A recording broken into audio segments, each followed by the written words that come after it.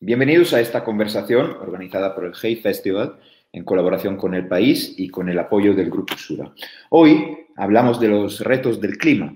Estamos con Cristiana Figueres, bienvenida Cristiana, antropóloga y economista costarricense, y Tom Rivet Cornack, eh, welcome Tom, eh, consultor, estratega político, que se ha centrado sobre todo en el estudio del cambio climático. Escribieron juntos eh, El futuro por decidir, un libro sobre la crisis climática y cómo afrontarla, cómo sobrevivir a ella. Ambos fueron decisivos para la redacción de los acuerdos del clima de 2016, que incluyen un conjunto de acciones y recomendaciones para reducir las emisiones de gases de efecto invernadero. Hoy contestarán a las preguntas de la audiencia y analizarán los desafíos a los que nos enfrentamos. Cristiana, Tom, welcome. It's a pleasure to be here. Thank you so much. So the first question is from Guillermo Ortiz from Spain. The pandemic has been disastrous in many ways, but it has also shown that massive societal change is possible when faced with a real threat. So what we can learn from the response to the pandemic that we can apply to the real threat to climate change. Tom, you want to take it? No, after you. Eh, bueno, primero, gracias por la pregunta. Thank you very much for, for the question. It, it is a question that uh, many people are grappling with because, as uh, as we know, it has been a very very difficult year in uh, in the year 2020. However, um, every day it seems that uh, we realize that there are lessons to be learned out of the pandemic that are applicable to climate, but also to other challenges that we face. Um, the, the first and very evident is that any global challenge, any global emergency, any global crisis requires a global approach. That it's not something that you can do country by country, city by city, person by person. We actually do need an all hands on board approach for the pandemic, but also um, for climate change. The second lesson that has already been um, been um, uh, uh, already mentioned is the fact that we as humans, once we are convinced that there is a threat that we deem to be important enough, we can make radical changes in our behavior, and we can do so quite quickly. And uh, for climate change, we also have to make pretty deep changes and we have to make them pretty deeply because we have to be at one half the current global level of emissions by 2030. Now, the difference between the changes that we made uh, for the pandemic and the changes that we have to make in climate change are actually quite remarkable because um, the, the pandemic certainly took a very, very hard toll on lives and livelihoods. And for most other people, the pandemic resulted in sacrifices of quality of life, either through locking yourself in or not seeing your parents, your grandparents, your grandchildren. And in order to address climate change, we have to make radical behavior changes, but those actually end up in improving the quality of life because you would be able to cut out inefficiencies out of your electric system, out of your life. You would have better um, better transport. You certainly, uh, we will certainly have cleaner air and more livable cities. All of those changes in order to address climate change will actually affect us positively in our quality of life. So while there are several lessons learned from the pandemic, uh, there are also very marked contrasts to the behavioral changes that we had to make for the pandemic. This question is from Maria Nogueras from Peru. One of the biggest threats to making the change necessary is the destructive impact of conspiracy theories and fake news. So, what needs to be done to overcome this threat? Great. Well, well, thank you, thank you for the question. And this is just at the heart of so many things that we now need to change if we're going to get on top of this issue. It's re- it's a really timely um, and well phrased question. So, in order for society to do big things, we need at core to be able to agree on what a fact is. And once we can agree on what a fact is, then it is normal and necessary for us to have robust discussions over how we deal with that issue that emerges. And that's right and normal. And we should welcome that multiplicity of, of conversations.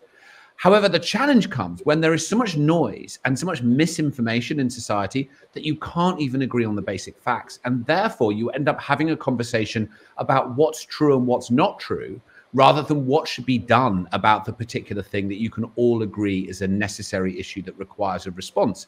One of the things that I have missed over the years is a sort of thoughtful dialogue on climate change between people who think something should be done, but they think it from different political perspectives, economic perspectives. We've now reached a point where our society is just awash with conspiracy theories, and it can be quite challenging to figure out what to do about it. But we have to figure out what to do about it if we're going to be able to come together and deal with this issue in a timely fashion. So I think there's three different levels where something has to be done. And I would start honestly at the individual level.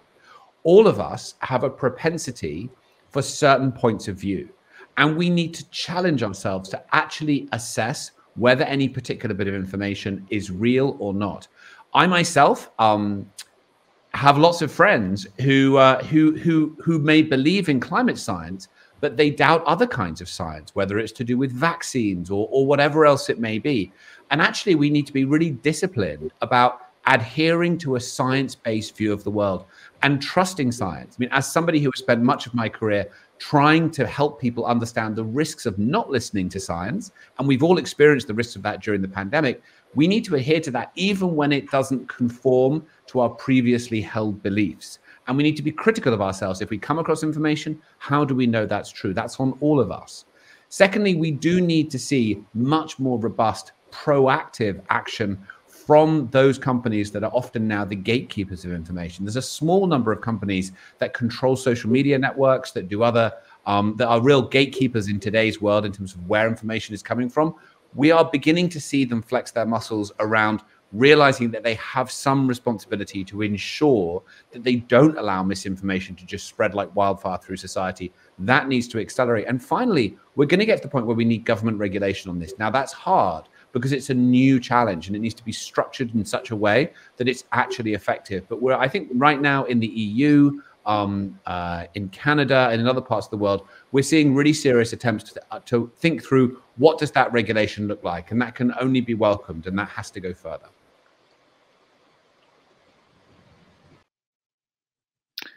This is from Fernanda Restrepo uh, from United States of America how effective really are the UN agreements to tackle the environmental emergency?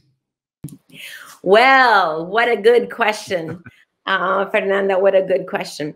So, um, I cannot conceive of a world without the United Nations because there has to be a multilateral platform where all national governments can come together to have fruitful conversations about all issues, all issues. However, we have to understand the limitation of the United Nations. The United Nations is a platform for conversation. It is a platform for agreements that are reached by those countries. The United Nations per se does not have the um, the mandate to force any country to do anything that that country does not want to do. That is not what the United Nations were created for. The United Nations is created as a dialogue table, as a multilateral collaborative effort. But what is decisive in the United Nations are the decisions of the national governments. And it is once there is a decision of national governments, such as in the Paris Agreement, then it is the nations themselves that keep each other accountable to whatever was agreed. So it is a it is a strange, I must say, it's much more of a facilitative role that the United Nations plays rather than an enforcement role. Unless, of course, countries have agreed to give the United Nations an enforcement role in any agreement. That is not the case under the Paris Agreement. It is actually much more of a roadmap, if you will. Countries, all countries have actually agreed that the Paris Agreement will be a roadmap, a roadmap toward the decarbonization of the global economy until we get to net zero by 2050. And there are definitely milestones that will be touched every five years in which all countries must come to the table to be transparent about what they have done and especially to commit to each other how much more they're going to do over the next five years.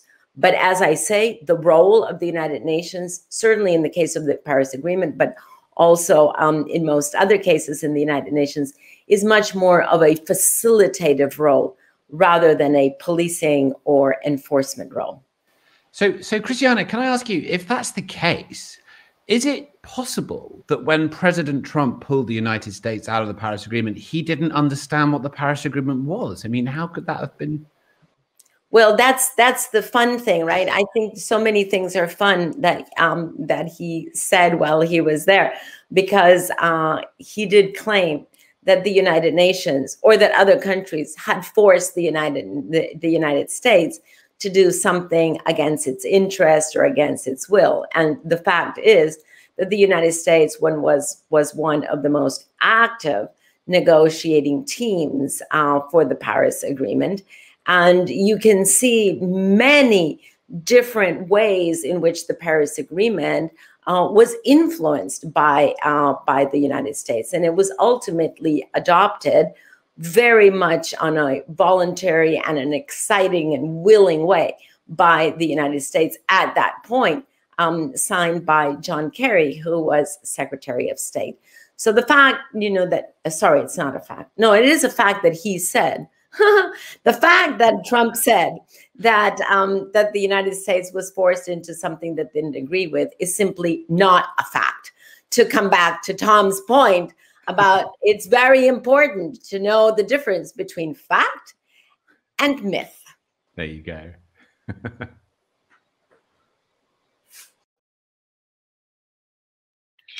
this question is from Itzel Garcia from Mexico. Can you share with us examples of successful policies or schemes that have been applied in specific places to mitigate the effects of climate change. Bueno, Itzel, eh, muchas gracias. Eh, yes, eh, yes, many actually. Um, and some of them are policies, some of them are actually more price signals. Uh, and some of those price signals are indirectly affected by policy.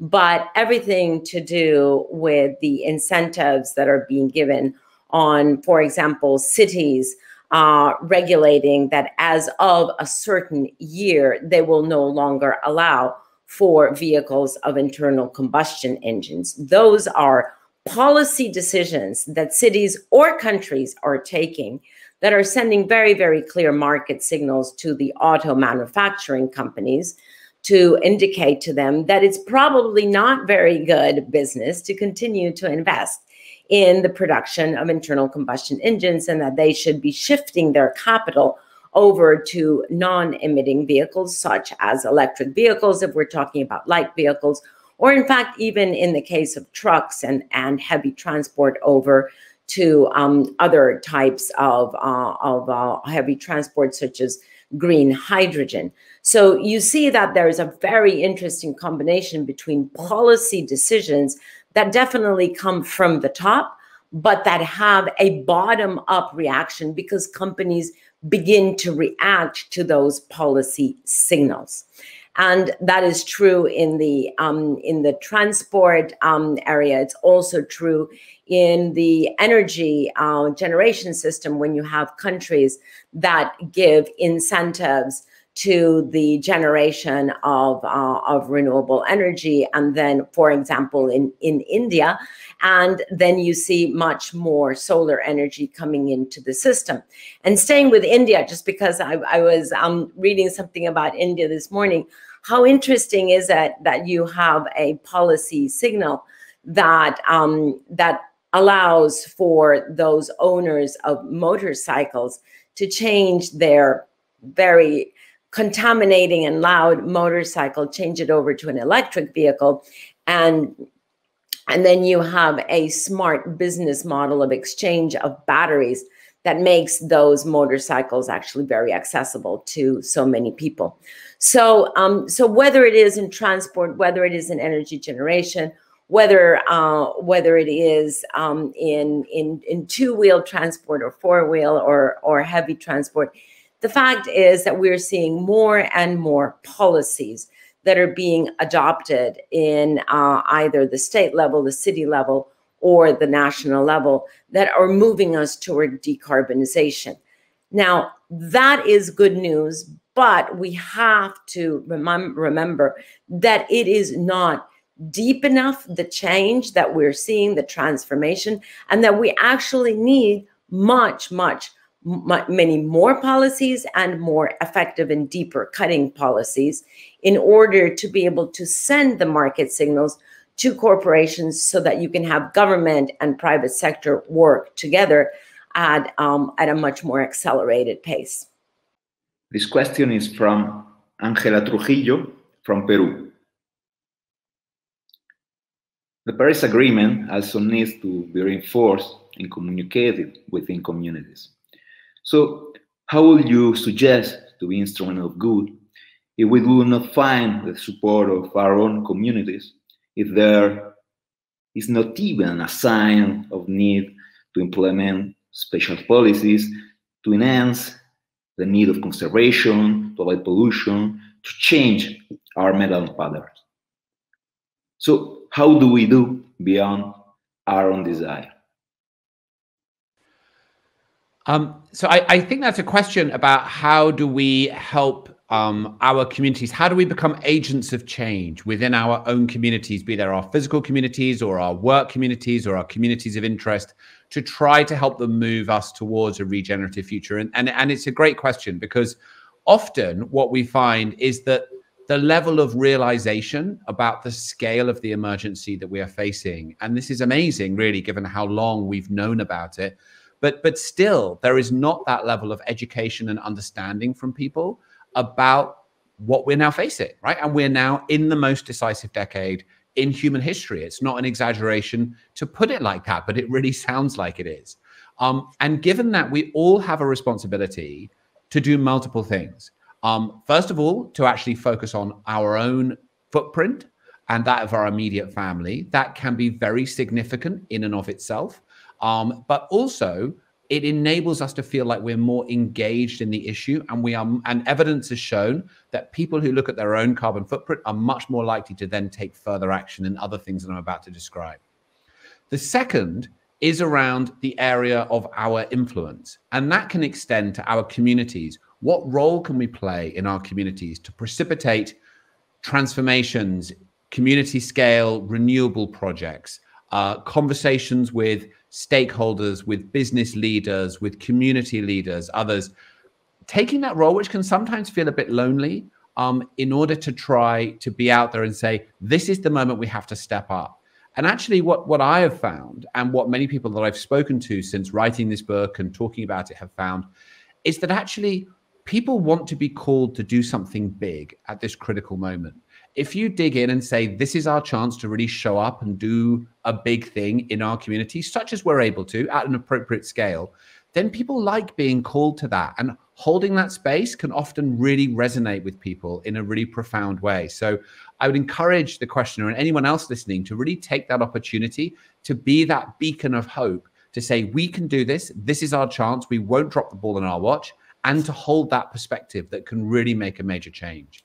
Um, and then the third thing is to think much more broadly about our role as a voter or, or, or, or in any other way in society. So I would encourage everybody to think about that, what our own emissions are and that of our immediate family. How do we influence our community and how do we influence a national scale? We need to show up in all of those roles in order to make this transformation.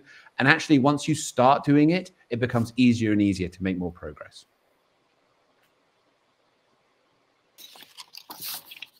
The last question is from Claudia Vasquez from Colombia.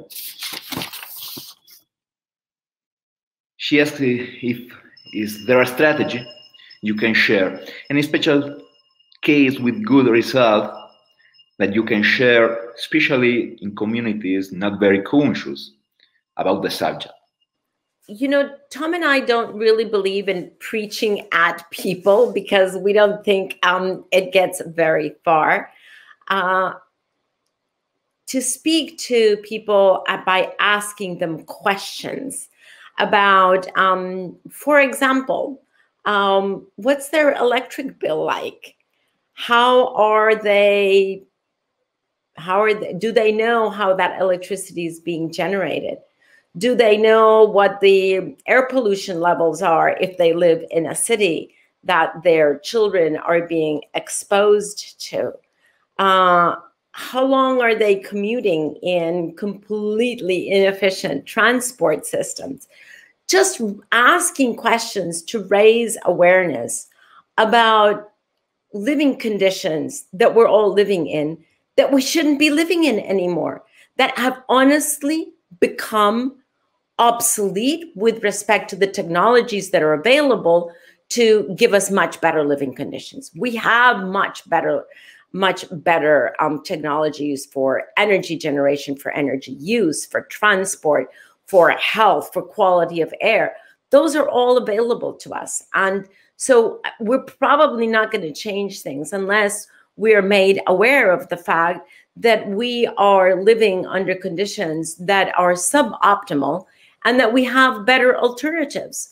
So to take it, especially to someone who's not aware of the global implications, to take it straight to their own daily experience is one way to begin to at least pique their curiosity around what could be better. And then to help them make the link that having a better human health is also better for the planet. And the best example of that is eating habits. And unfortunately, in Latin America, we are still eating a lot of red meat. That, frankly, is not good for our personal health and is not good for the planetary health. So, to understand that we can actually, we have full control over what we eat and we can start diminishing animal based protein and increase plant based protein in our diets, because that's going to make us much more healthy, how it gives us better energy, allows us to have a better weight control. Um, all of that is actually totally within our control. And in so doing, we're actually helping the planetary health because the production of meat, especially cattle, is um, dependent to a great extent on deforestation, which causes climate change.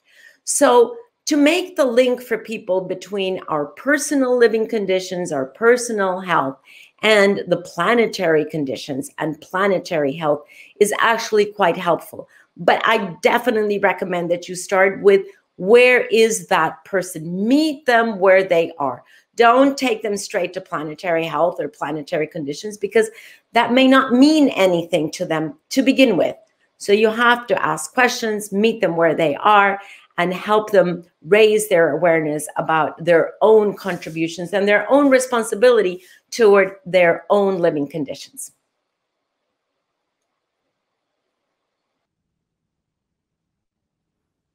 Christiana Tom, thank you so much for this conversation. If, we, if you want to say something to our community of uh, Imagina el Mundo, Imagine the World, you're welcome. Well, so thank you very much, Francesco. Thank you for um, for guiding us through this conversation, uh, and thank you to the Latin American audience, to whom we can say that we're excited that the book is out in Spanish, currently in Spain, but soon coming to Latin America. Here it is. Thanks so much. Bye. Acabamos de escuchar a Cristiana Figueres y a Tom River Cornack, que nos acaba de enseñar eh, el futuro por decidir, la cubierta del libro que acaba de, acaban de escribir ambos sobre la crisis climática y los retos que, nos plantea, a los que nos enfrenta el cambio climático. Eh, les invitamos eh, seguir en contacto con la comunidad de Imagina el Mundo. Muchísimas gracias por habernos acompañado hoy en esta conversación. Eh, y hasta la próxima.